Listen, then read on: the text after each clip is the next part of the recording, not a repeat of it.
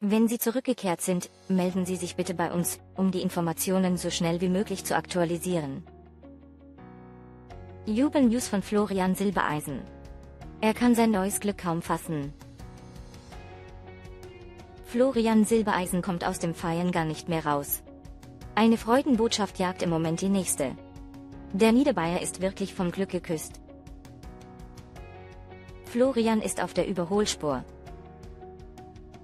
Das nächste Highlight lässt auch nicht mehr lange auf sich warten. Am 14. März präsentiert Florian Silbereisen im ersten Schlager Lobesturi 2020 die total verliebte Frühlingsshow.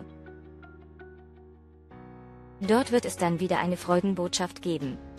Denn Flori wird seinem alten Kumpel Stefan Ross als Trauzeuge zur Seite stehen, wenn der seiner Verlobten Anna-Karina Wojcik live im TV das Ja-Wort geben wird.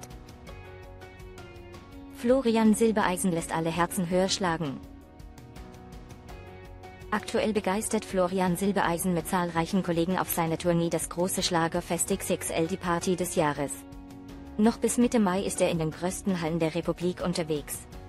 Und weil die Fans in Massen zu den Konzerten pilgern, erhielt Florian nun sogar einen Preis den Diamant Ticket Award.